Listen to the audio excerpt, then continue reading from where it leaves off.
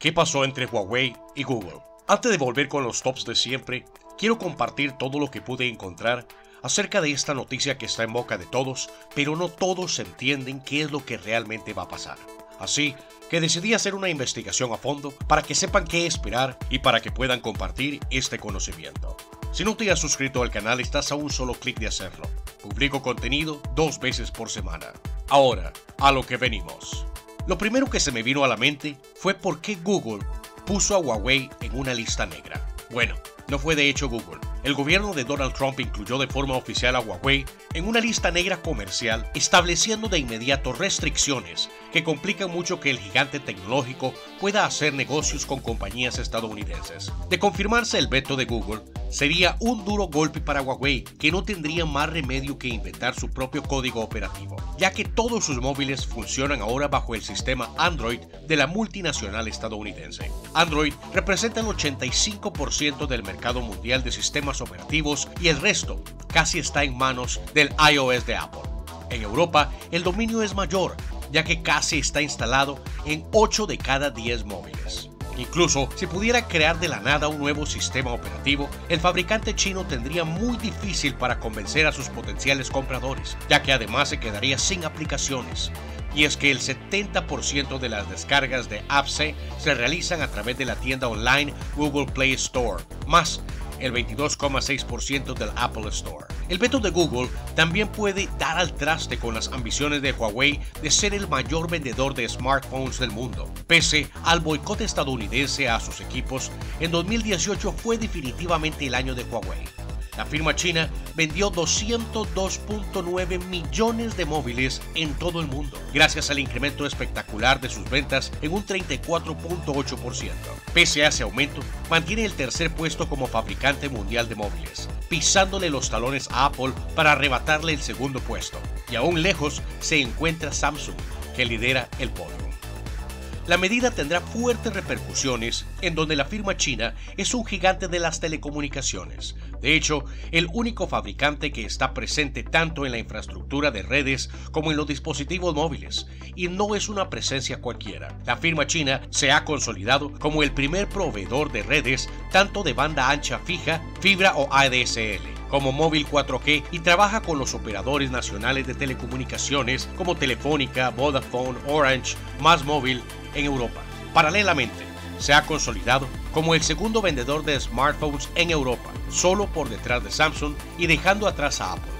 Actualmente casi uno de cada tres móviles que se venden es de Huawei, desde que en 2010 comenzara la comercialización de móviles inteligentes bajo el sistema operativo Android, se ha quitado el marchamo de fabricante de móviles chinos baratos y ha conseguido colocar sus terminales entre los más avanzados del mundo. El presidente Trump declaró el pasado miércoles una emergencia nacional para proteger las redes de telecomunicaciones estadounidenses a través de una orden ejecutiva que entrega competencias al gobierno federal para prohibir a empresas que contraten proveedores extranjeros. La medida que el facto constituye una barrera a la compañía china Huawei, aunque no la mencionaba, supone una nueva escalada en la guerra comercial con el gigante asiático. La orden ejecutiva dirigida al secretario de Comercio, que deberá elaborar un plan para puesta en práctica, involucra una ley que confiere al presidente la autoridad de regular el comercio en respuesta a una emergencia nacional que amenace a Estados Unidos. Se justifica en el supuesto aprovechamiento de las vulnerabilidades de la tecnología de telecomunicaciones estadounidenses por parte de los adversarios extranjeros y señala el espionaje industrial como particularmente preocupante. La medida con la que se llevaba especulando desde hace meses supone un nuevo recrudecimiento de la guerra comercial y de seguridad con China y constituye la más contundente ofensiva hasta la fecha contra un sector tecnológico. De hecho, en el video que hice de las 10 increíbles maneras en que las compañías nos espían, les había mencionado este mismo problema. Y ahora, un par de meses más tarde, vemos que el gobierno de Trump está tomando medidas. La pelea entre Huawei y la administración de Donald Trump amenaza con salirle muy cara al gigante chino. Google ha suspendido los negocios con Huawei que requieran la transferencia de productos de hardware y software, excepto los cubiertos por licencias de código abierto. Según señaló este domingo la agencia Reuters, citando a una fuente cercana al asunto, Tras Google, un puñado de los más importantes fabricantes de procesadores han anunciado que dejarán de vender sus productos a Huawei. El conflicto es anterior a la última ofensiva arancelaria porque se extiende a acusaciones de espionaje. No solo Google ha anunciado que dejará de dar soporte a Huawei. Este mismo lunes, han asegurado su ejemplo varias importantes firmas de procesadores, Intel, el mayor del mundo, Qualcomm, Broadcom, Micron Technology y Western Digital. Han suspendido el envío de chips y memorias a Huawei. Esto es realmente importante, lo que afectará no solo a los teléfonos, sino también a otros productos como ordenadores, tabletas y tecnologías de conexión. Con el bloqueo de Google, Huawei puede estar al borde de la mayor crisis desde que la administración Trump le declarara la guerra.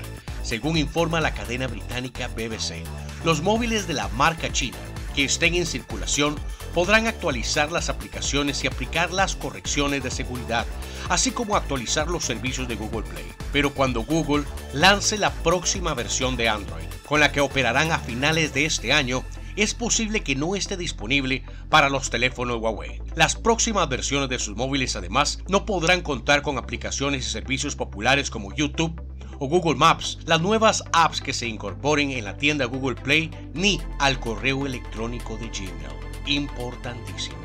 De momento, la cuenta oficial de Android en Twitter ha intentado tranquilizar a los usuarios asegurando que al tiempo que cumplen con los requerimientos del gobierno de Estados Unidos, los servicios como Google Play y seguridad de Google Play Protect continuarán funcionando en los dispositivos Huawei existentes. También Huawei se ha apresurado a tranquilizar a los usuarios afirmando que seguirá proporcionando actualizaciones de seguridad y servicio postventa a todos sus teléfonos y tabletas Huawei y Honor, el cual es su segunda marca vendidos o en stock en el mundo, pero de los futuros dispositivos no dice nada. Google está analizando a nivel interno los detalles de los servicios específicos que serán vetados, según las fuentes mencionadas. Los abogados de Huawei están evaluando también el impacto de las acciones del Departamento de Comercio, señaló un portavoz de la firma china el viernes anterior. La empresa asiática aún tendrá acceso a la versión de Android disponible a través de licencias de código abierto disponibles para cualquiera que quiera usarlas. Sin embargo, Google dejará de prestar colaboración y respaldo técnico a Huawei para sus servicios y los de Android. ¿Cuál es el plan B de Huawei? Para algunos expertos el desarrollo de un sistema operativo propio era inaludible. Huawei sabía bien que como un gigante de las telecomunicaciones, en última instancia necesitaba controlar las principales tecnologías. Huawei no ha proporcionado mayor información sobre el sistema operativo, pero según información del Global Times, un sitio de noticias chino de propiedad estatal, el mismo ya está siendo probado y reemplazará gradualmente a Android. Y de acuerdo con la información publicada por Huawei Central, un sitio web especializado en noticias de la tecnología que dice que trabaja de cerca con la compañía china, el nombre del nuevo sistema operativo sería Hongmen OS, pero no están listos para lanzarlo. Hubiera sido perfecto si tuvieran tres años más para desarrollarlo, pero no los tienen y ahora deben acelerar. El programa que había comenzado a desarrollarse en 2012 sería utilizado como un sistema universal en varias plataformas, incluyendo teléfonos, tabletas y computadoras. Según el portal, Hongmen OS estaría basado en el sistema operativo Linux, el mismo en el que está basado Android. Y en lugar de usar una arquitectura diferente, es probable que la empresa apueste por un enfoque mutuo que garantice su compatibilidad con la mayoría de los patrones de diseño actuales de Android. Huawei Central, sin embargo, también reporta que la empresa todavía tiene que resolver algunos problemas antes de lanzar Hongmen OS. Hay buenas posibilidades de que Hongmen se convierta en uno de los mejores y más grandes sistemas operativos móviles del mundo, aunque está por verse si Huawei será capaz de convencer de esto a los consumidores fuera de China. ¿Qué pasará con los celulares Huawei? La pregunta importante para los usuarios de Huawei es qué pasará ahora con sus móviles. Tal y como han aclarado desde la propia Google, tanto Android como todas las aplicaciones incluyendo YouTube, Google Maps, Google Drive, Chrome y Gmail seguirán funcionando en los móviles existentes de la misma manera que con cualquier otro Android. En su mensaje, Google deja claro que el soporte se mantendrá, poder recibir actualizaciones de seguridad y el acceso a la tienda de aplicaciones, pero otra cosa diferente son las actualizaciones del sistema operativo. De confirmarse, esto quiere decir que los actuales móviles de Huawei no podrán actualizar a la próxima versión de Android. Esto tiene varias consecuencias, como el hecho de no recibir las mejoras en rendimiento, seguridad o las nuevas funciones que vayan siendo desarrolladas para el sistema operativo de Google. Pero la peor parte se la llevan los próximos móviles que Huawei presente y lance al mercado ya que ni siquiera tendrán acceso a los servicios de Google, como Play Store o Gmail, y Google dejará de darles soporte técnico. Esta es la noticia y los detalles que están impactando al mundo. Si te gustó el video, ayúdame con un like y compártelo.